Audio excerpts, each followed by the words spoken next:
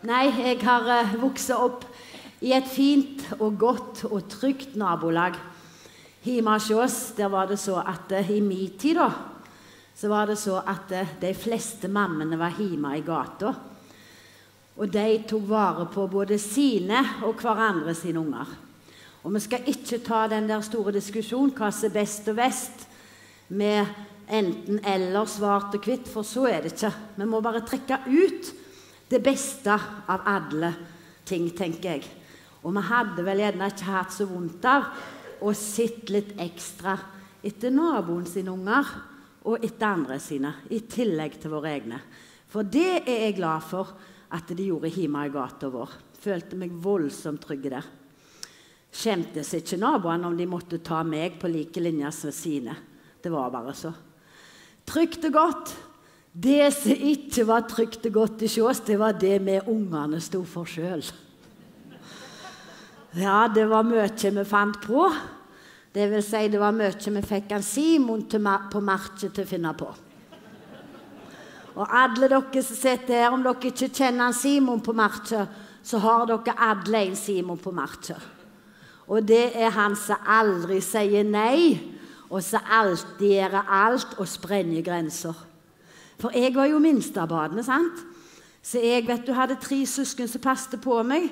Og de sa mye visdomsord til meg. Blant annet så sa de Anne Marit, du må aldri stappe erter opp i nesen. Og gitt hva jeg gjorde Jeg pløta de så opp og så mange at jeg føler ennå at jeg har ei rekke her oppi. Og så sa de jo, brødrene mine, må aldri tisse på strømgjerdet. Nei, det ville vi ikke. Simon! Simon! Kan du tisse på gjerdet? Ja, han gjorde det òg, vet du. Og jeg husker ikke helt om han fikk vondt, men jeg tror det. Jeg husker iallfall at han fikk vondt når vi fikk han til å slikke på den der, den der uh, skiltastolpen når det var frost. Jeg ser ikke. Hva sier du, Simon? Jeg ser ikke løs. Jeg hører ikke hva du sier. Helvete Vi skålla han, vet du. sant? Inn og henta varmt vann. Og så var det jo da, vet du, en episode når tivoli kom til Åkra. Å, herlighet, det var sikkert så når de kom til dere i Tysvaro. Det var jo julaften og nyttårsaften og alt på en gang. Og hvis de var svenske òg, da, i tillegg Langt, lyst hår, vet du, og steinbrune. Vil ni åka mere? Ja. Nå, og nå gjorde jeg det jeg ikke skal. Jeg skal ikke gjøre så, for da dissa det. det. Der glemte jeg meg ut. Ja. Nei. Ja, men det er helt sant. Det er damer og dere sier i min alder dere må aldri gjøre så. Se, det er helt forferdelig. Men hvis dere gjør så, så må dere konsentrere dere og så stramme. Og når dere er på konsert, så må dere ikke klappe så. Sånn? Da må dere her. Da går det bra. Men i alle fall, tilbake til tivoliet. Vi skulle på tivoli, og det var på den gamle fotballplassen på Åkra. Sette Tollesen. Og svenskene var kommet til Å, herlighet. Og så var det jo så, da, vet du, at hvis vi sparte en tikroning helt til siste tur med den flyvende tallerken, da fikk vi to turer. Å guri, det var vanskelig å gå og spare på den tieren. Hva er klokka nå? da De stenger klokka ti. Ti over ni, ok. Og vi hadde jo så lyst til å bruke den. brant jo i lommen, sant? Men vi sparte den. Og så kom øyeblikket. Oppi den flyvende tallerken. Og han gikk jo så det kvein, sant? Og når vi kom ned, da, så sa svenskene 'Opp med hendene hvis de vil åke mer!' Og vi satt, vet du, og tok oss opp igjen. Og så, når vi da var ferdige da, og kom ned og trodde vi var ferdige, så begynte han å gjøre seg klar til tredje opptur. Og vi tenkte Gud har glemt seg ut, vi får én tur til. Og så sies det i høyttaleren på svensk da, da de som ikke vil være med på en ekstra tur, de må hoppe av nå. Hva tror dere Simon gjorde da? Han hoppet av i fart, han. Han kunne jo ha drept seg. Men det viste ikke ei skrame på han. Og for å være helt ærlig, jeg hadde drept i hvordan det gikk, men jeg mista en hel tur. Men så var det med den saken. Det gikk bra, det òg. Eh, pappa han jobba på båt, hadde egen båt. Han fiska. Så han var ikke i Amerika, men han var på Shetland. Han var på Shetland når han kom hjem, og han hadde kjøpt disse her Quality Street-boksene. Mm -hmm. Og Rose. Den var blå med rødrosa på. Og mamma tok de med opp på soverommet og stappte de under senja. skulle spare. Så var hun sovet og. Da kom ned. Guri, vi har visst fått mus i hus. Hadde ikke fått mus. Men han pappa han var ikke så lenge vekke om gangen, men han var ofte, for han drev jo sin egen båt. Og da var det så at mamma hadde mye ansvar for meg og søsteren min, som var de to minste. Vi er født i to epoker, liksom. Brødrene våre var en del eldre enn meg og søsteren min. Så brødrene våre var med og passet på oss. Og om det da så har Marit Synnøve Vea hun har skrevet en nydelig vise om hvordan ungene opplevde det når pappene var ute og reiste. Den handla mest om når pappen reiste til Amerika, men jeg kjenner meg igjen i det hun har skrevet. Jeg har fått lov til å bruke disse sangene, for de har jeg framført på ulike kabareter. Så nå vil jeg ta dere gjennom tidlig på 60-tallet. Det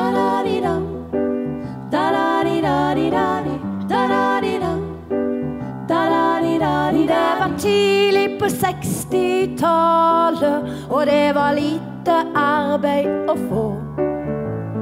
Båtene lå ved kaien, men silda var vekke nå. Ja, silda var vekke nå. Jeg var bare ei lita jente, men jeg skjøna hva som skulle skje. Når han pappa pakka kofferten og drog til et framandssted. Og drog til et framandssted. Når vi sto oppå Austad knause og hadde kikkert unna smor så kunne vi sjå ut med sira at Amerika botten for. At Amerika botten for.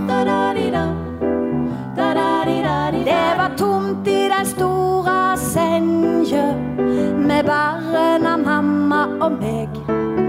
Det var tomt i heile huset, for han pappa var rett sin veg.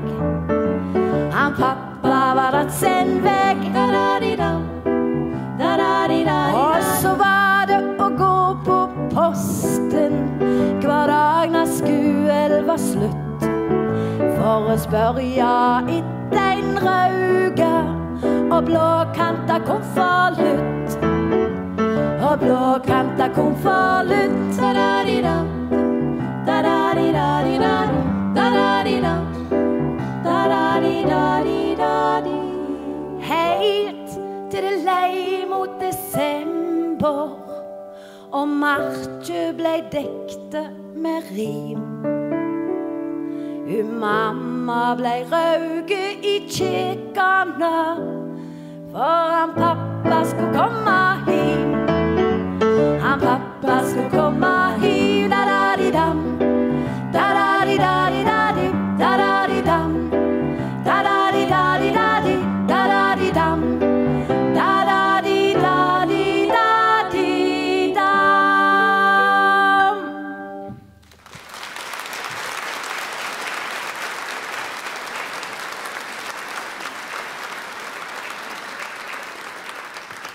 Ja, jeg hadde det fint. Jeg lekte, var bestevenninne med Jorunn Fjell og Anne Eriksen. Jeg og Anne hadde like røde vogner, og Jorunn si den var blå. Og vi hadde det voldsomt kjekt. Men så var jeg litt nysgjerrig på disse guttene i nabolaget. Hjelpes det meg hvor spennende de hadde det. De lagde hytter i steinknauser og knapper. Og de drev og hadde sånne hemmelige lappasending. De fyrte opp bålet. Og de spente fotball hadde lagd sine egne fotballbaner. Så jeg gikk til dem, jeg. Guri, om jeg kan få lov å være med i klubben deres. Den heter Robin Hood-gjengen. Nei, jeg kunne ikke det. Please, kan jeg ikke få være med dere, da? Nei, du har ikke pilt. Nei, og det var jo helt sant. Det var ikke så mye jeg kunne gjøre med det. sant? Men jeg gav ikke opp, jeg. Jeg hadde så lyst til å være med i Robin Hood-gjengen. Så jeg sa kan dere ikke sette meg på prøve, da, at jeg kan få lov å være med dere like så vel? Jo, da ville de ha en skikkelig ilddåp. Ja vel. Det var en Johannes Gustavsen, han Helge Tønnes Longåker i Frokra. Og det var ikke bare bare dere. Det var en knallfin sommersdag. Det er ikke ofte vi har de Åkra. Vi pleier å blåse av, vet dere. Men det var en nydelig sommersdag. De bindte meg fram fast i pålen i den der fotballbanen deres. Og der sto jeg i solsteiken, fikk på meg ei hue og det rant av meg. Og det var ikke svette. For de oppi huet hadde de stappet kuskit.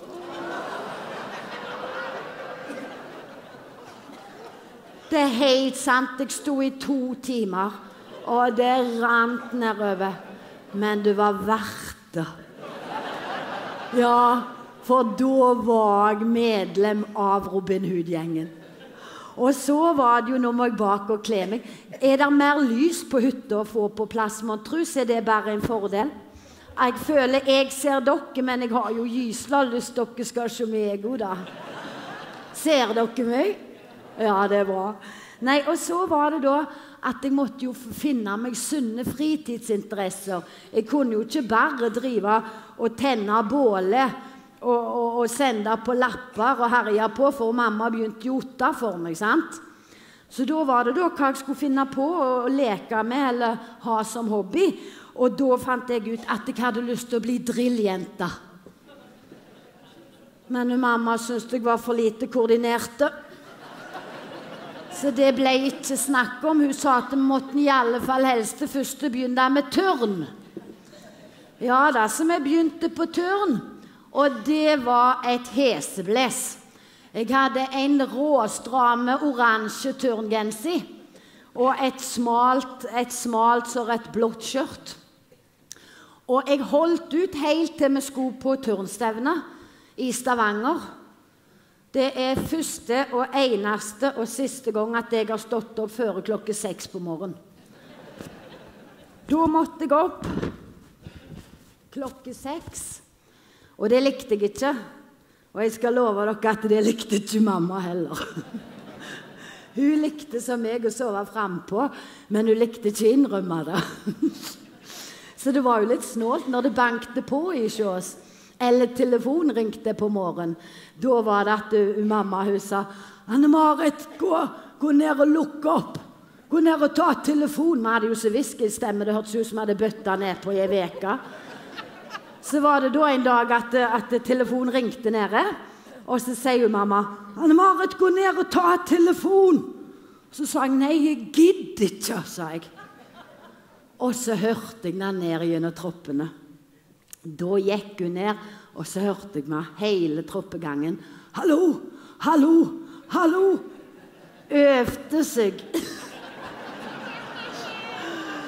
så herlig. Og så tok hun opp telefonen, sant? og så hørte jeg at du sa Nei, dere vekte meg ikke, jeg var i kjedleren. Oi, oi, oi. Så det ble ikke lenge jeg var på turn. Det var til turnstevnet var ferdig.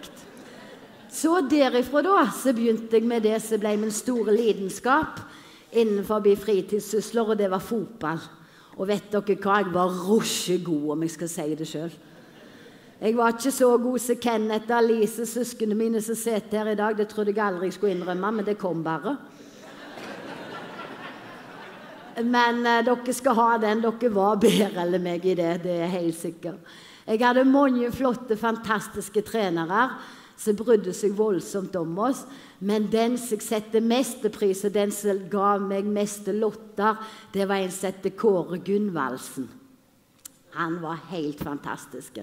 Det som var det kjekkeste med Kåre Gunvaldsen, det var at når vi spilte kamp, da, så plutselig så blåste dommeren i fløyta. Og motspillerne kunne ikke forstå hva som skjedde, for det var jo ingenting som var galt. Men jeg visste hva som var galt. For da kunne vi bare se på han Kåre Gunvaldsen, og så hørte du bare Da hadde han svelget sneipen. Så Jeg var så ivrig. Det er den ivrigste treneren jeg har hatt. Så han hadde en sneip som hang i munnviken, og den svelget han på hver kamp. Men det var ikke snakk om å ta han vekk. Han måtte være med.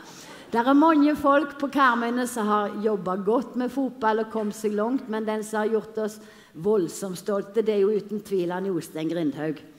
Og når han da spilte for FKH og senere ble med i hjelpeapparatet til FKH, da lagde jeg en monolog til ære for Ann Jostein, som er vaskeekte Åkrabu.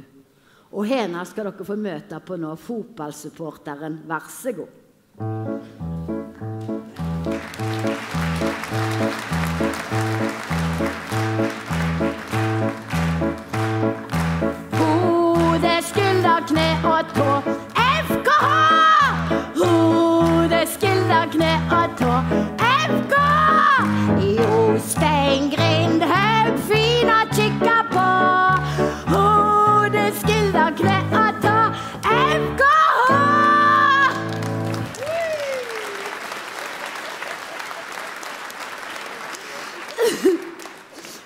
Guri faderine, er ikke jeg herlig?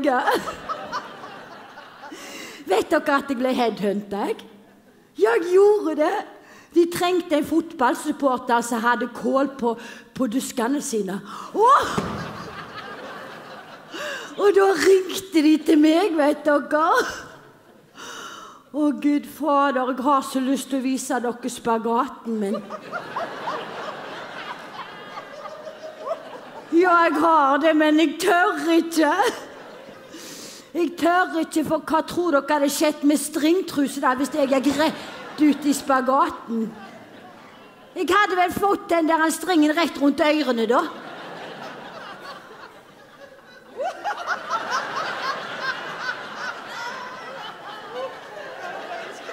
Men dere, det er framman skal være den stringen, er det ikke det?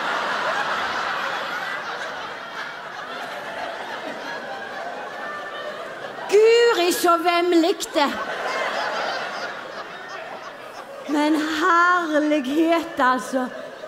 For en nydelig sesong vi har hatt frem til nå, da.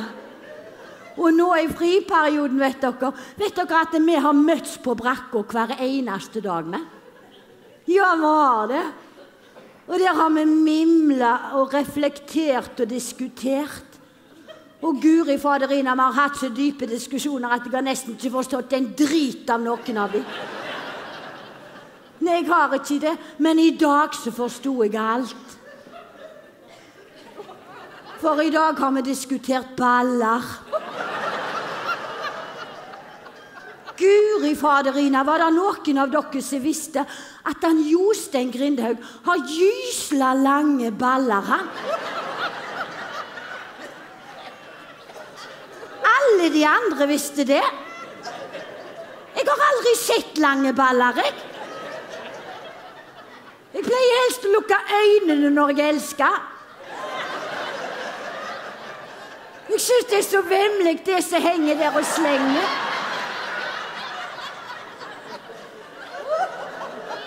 Men herlighet, da kan jeg jo forstå når han Jostein Grindhaug var trener.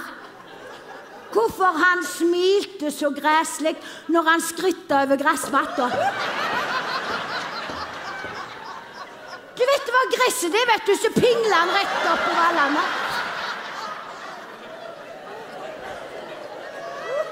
Og når vi snakker om baller Fytti grisen hva jeg savner han der Balla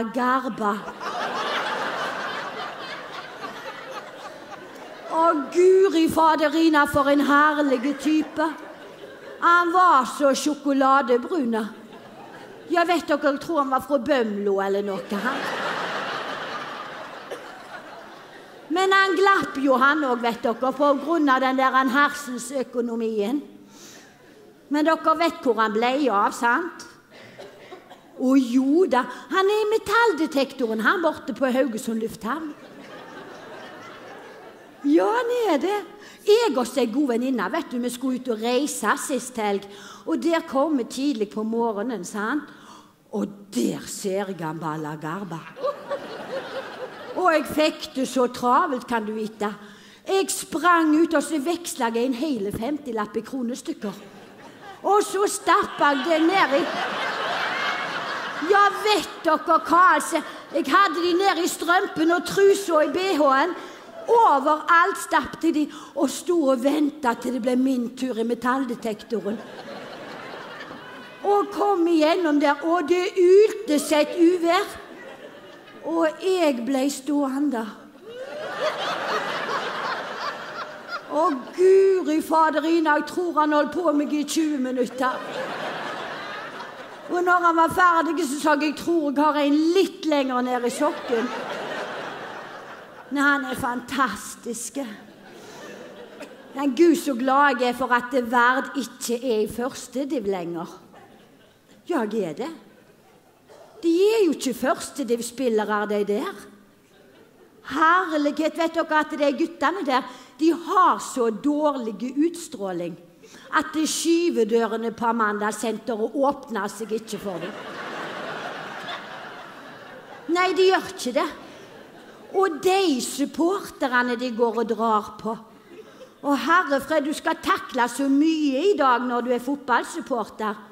Du vet at Jeg var jo bare på Østlandet, sant? og der traff jeg en fotballsupporter du fra Vålerenga. Han var så slesk og var helt oppi nesa på meg.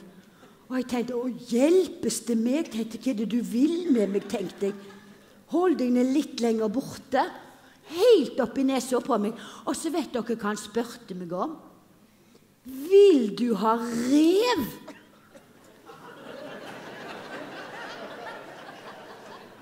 Rev, sa jeg til han. Ja, er han temde, da? Hvor i herrens navn skulle jeg gjort av en rev, da? Jeg som nesten ikke har hage engang. Og hvordan tror dere at en Vard-supporter hadde takla det, da? Han hadde vel tatt imot den hersensreven, han.